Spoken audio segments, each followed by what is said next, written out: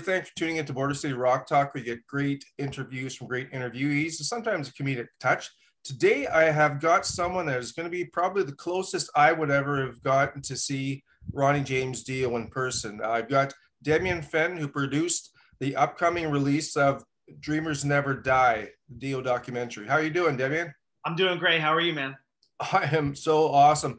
How did you? Um, everybody knows uh, Ronnie James Dio. I was a big fan with. Uh, I started out with Holy Diver, Last in Line, and then it kind of tailed off for me. Went into other uh, genres, and then I didn't. I wasn't even a Black Sabbath fan in the original form with even Ozzy, but then I got into Ozzy or excuse me, Black Sabbath, and then I I was a couple of my favorite albums of all time are Heaven and Hell and Mob Rules.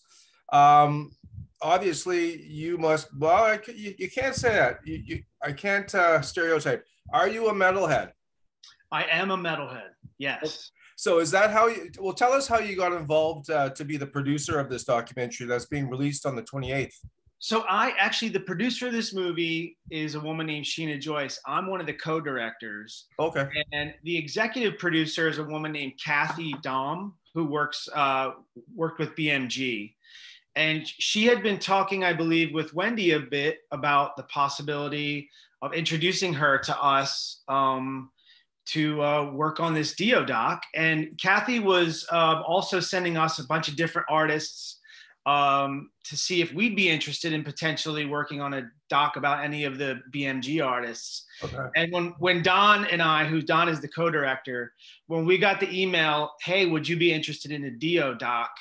We freaked out within 0.5 seconds, said yeah. totally yes. We flew out to Los Angeles. We're both from Philly, and we uh, we met Wendy and we gave her our pitch about um, how we would do this thing.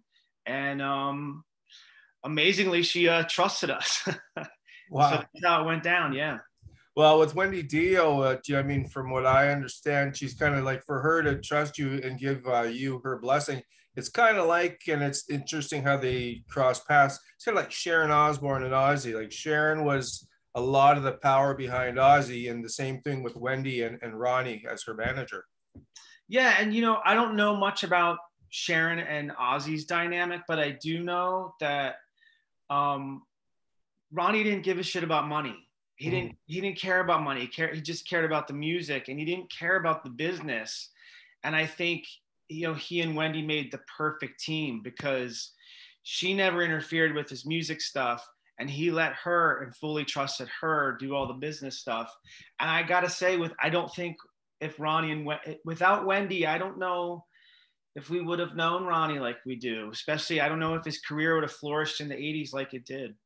Yeah, I mean, to all the ladies out there watching the video, we we realize the impact you have on our lives. So yeah, great, uh, great Wendy uh, for Wendy, and I'm pretty sure um, because I because in the in the doc for people that are going to watch it, um, they talk about how her and Ronnie had some rough times where she would leave, come back, leave, come back. Leave, I didn't know that to be honest with you, and that's so that's great about the documentary. I learned that.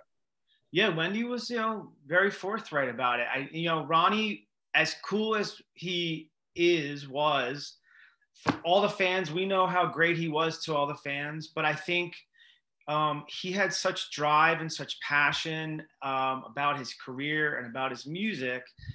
Uh, and he was a perfectionist. Yeah. That he, he, he would, it would be tough sometimes if you were in Ronnie's band um, or certainly if you were his uh, wife and manager, it got tough.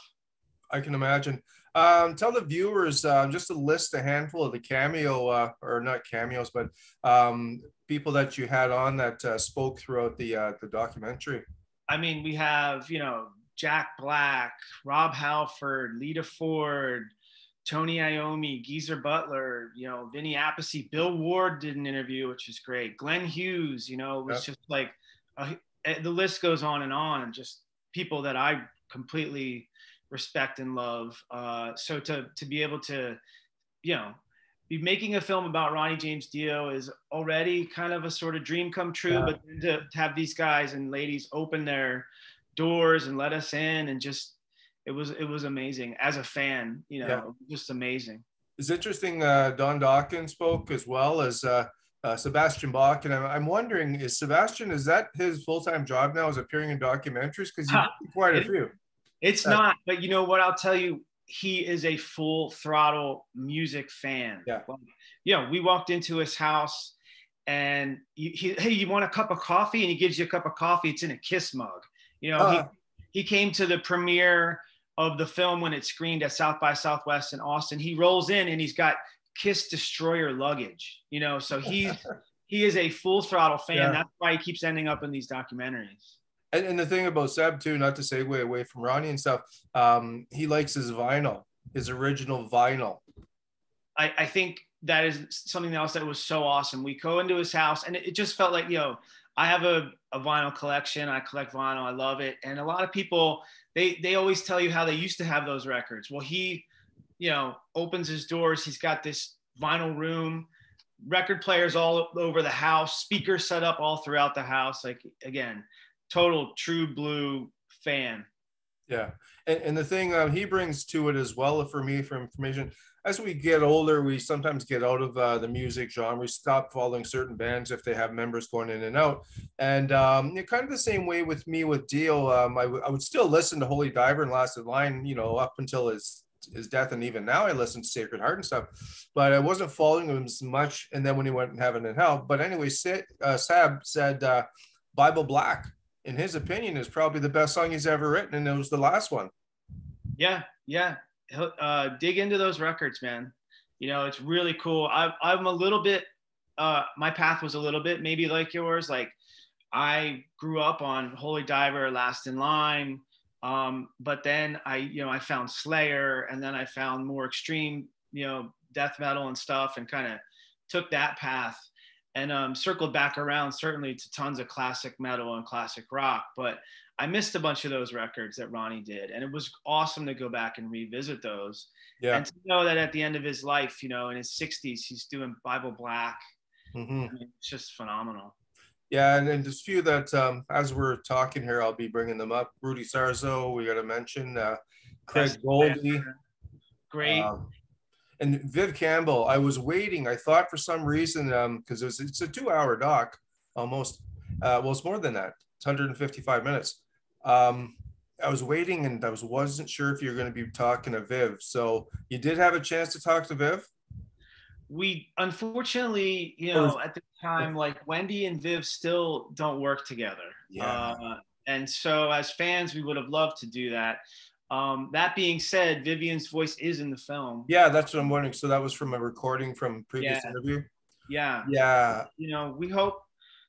You know, I hope if he sees this film ever, he he realizes that you know we cut that scene where he um, leaves Dio. We cut that 15 different times trying to get it right down the middle. It's an interesting moment in Ronnie's career where he's now the boss and he has to Yeah. make some decisions about what to do with uh, with Vivian and um, we just uh, I think we, hopefully everybody feels you know we cut that right down the middle. No, it was really respectful. I gotta say because I, I saw it. So, so yeah, there is a bit of animosity with Wendy, obviously, still. But the unique thing I found, and this is great about your doc, is that I didn't realize certain things, that little things like um, Ronnie was in his 30s when he hired Viv, who was 19, I think.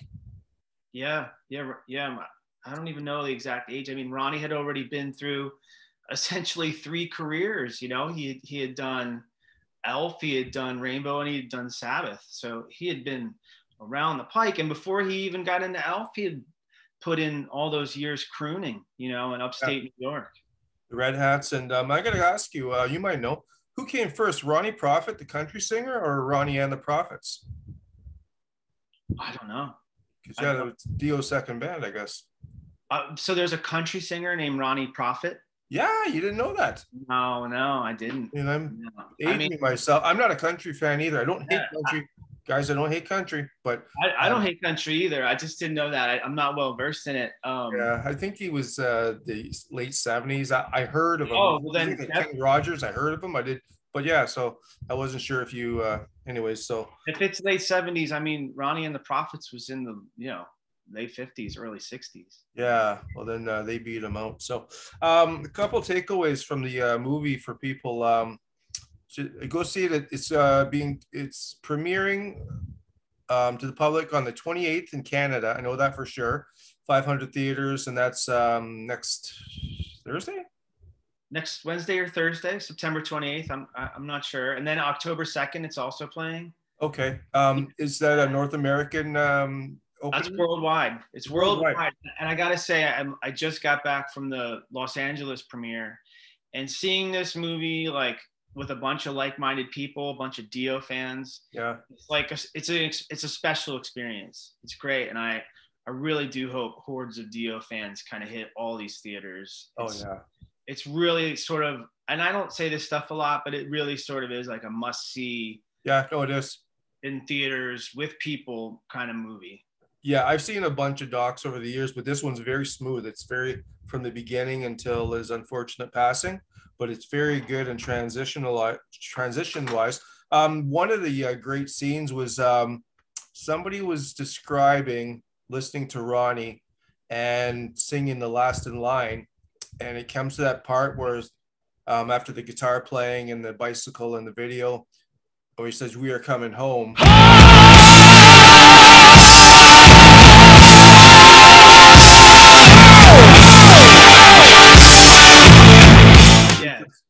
because his voice is so powerful. So I thought that was a great scene, man. That's cool. Yeah, that is Don Coscarelli, who directed Phantasm and uh, Beastmaster, and he also directed the Last in Line music video. So uh, we got to ask him about that. Last in Line music video is my favorite music video of all time. Oh, it was great, eh? It reminds me of Vision Quest. Remember that movie? Yeah, I, I remember that. Ronnie was on that soundtrack. Yeah, that's right. Yeah. Um, how did you come up with the title?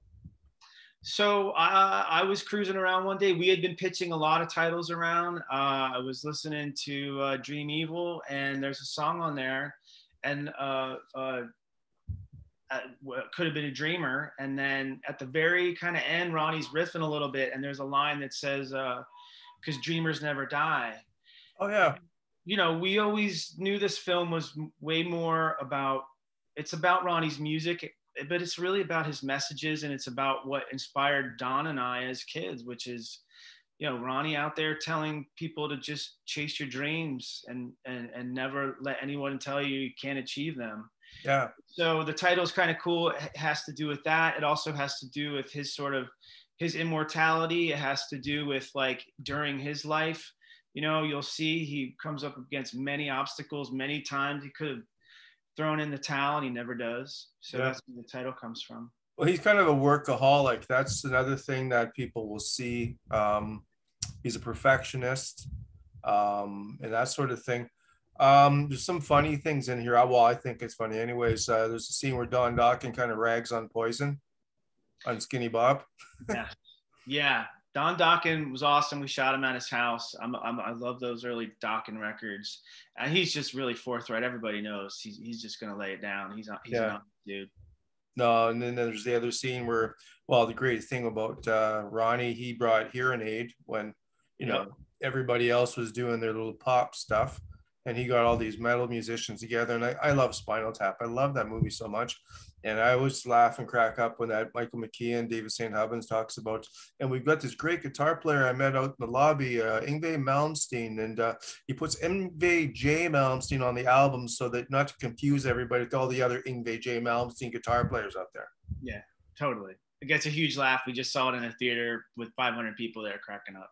Yeah, yeah. Okay, so I think I'll let you go. I think you got a couple more interviews to come up, and um, so December twenty eighth, they can see it at all kinds of theaters uh, around the world. Um, online, is there any platform that you can purchase it?